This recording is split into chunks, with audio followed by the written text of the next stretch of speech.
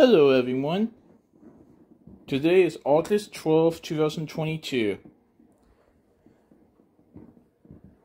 So, it's been a little bit over a month and a half of this movie being in theaters. But now is the day that I'm going to see the new movie Elvis. Austin Butler plays Elvis Presley in the movie and Tom Hanks plays his manager. So this is a film directed by Baz Luhrmann, who directed films like Romeo and Juliet, Moulin Rouge, Australia, and The Great Gatsby.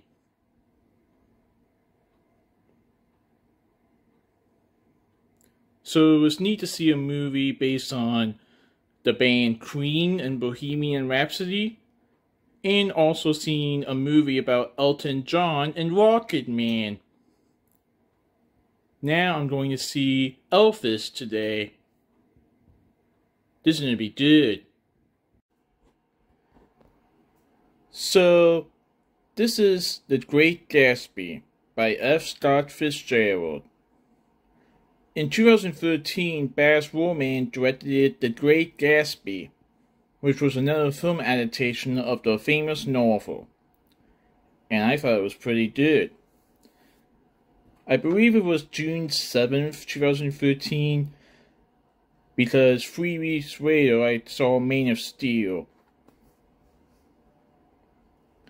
But yeah, The Great Gatsby is the last Baz Luhrmann film before Elvis. So nine years later, I get to see his newest film, Elvis. I have never seen his other films. I got to at some point.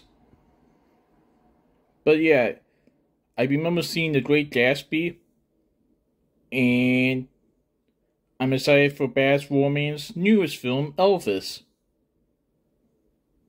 Of course, Elvis is longer than The Great Gatsby, but I think it's going to be a good movie. Elvis has left the building. Well, I mean, I left the building. I left the Regal Cinema. Thought it be a good joke. Anyway, I just got out of seeing Elvis. It was pretty good. It is very long, though. But yeah, it's pretty good. About the wife of Elvis Presley.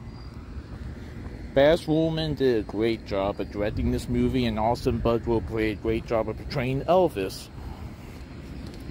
And Tom Hanks as Colonel Parker as well. Well, see you guys next time.